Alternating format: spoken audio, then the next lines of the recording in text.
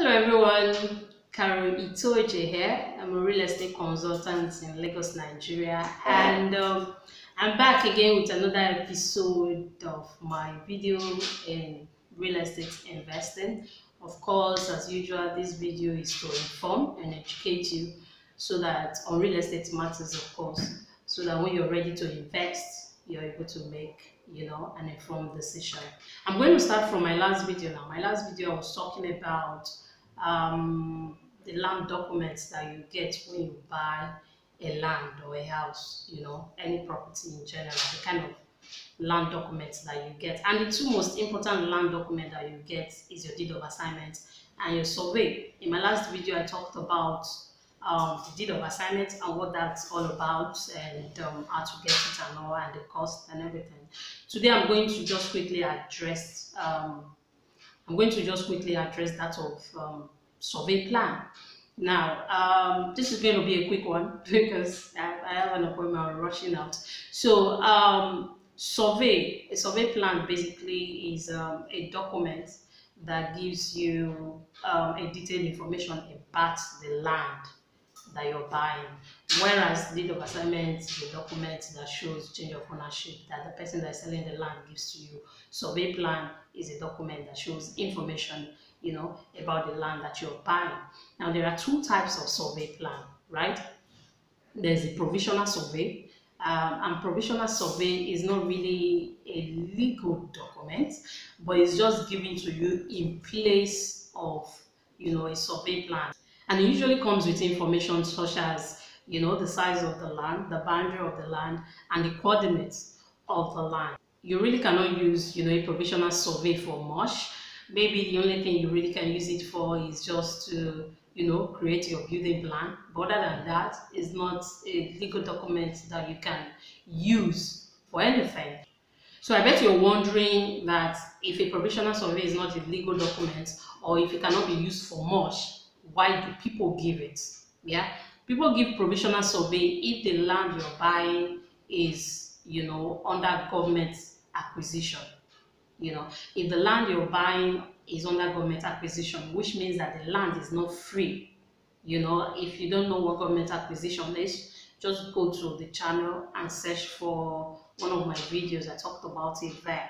So if the land is under government acquisition, that's when they give provisional survey because a land that is under government acquisition, you cannot do anything with it yet because we're still waiting on the decision from the government to say whether they are releasing the land or not. So because of that, you cannot do anything official with the land. You cannot do any documents on it that can be recognized as you know official or as a legal document.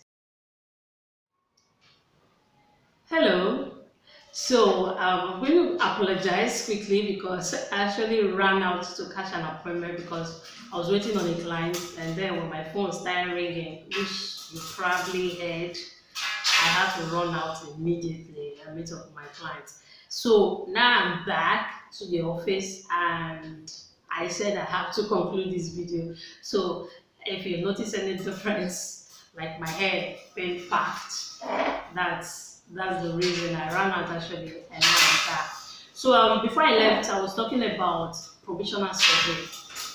Provisional survey, as I've said, cannot, you know, be regarded as a legal document because it cannot be registered. Because of course, it's um, the land um, in which it's being issued on is still as an issue. You know, it has the government issue around it has not been resolved.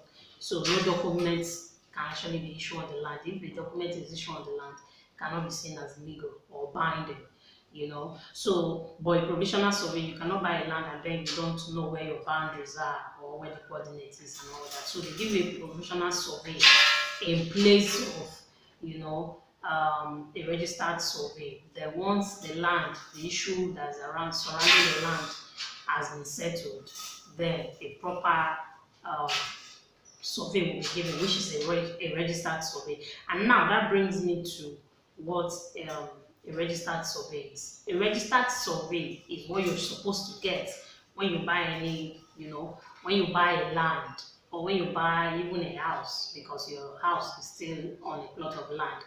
You know, a registered survey is what you're supposed to get. It is a um, legal document, is binding, and it is um, registered, referred to as registered, after it has been lodged, you know, in the Surveyor General's office. That's when it's regarded as um, registered survey.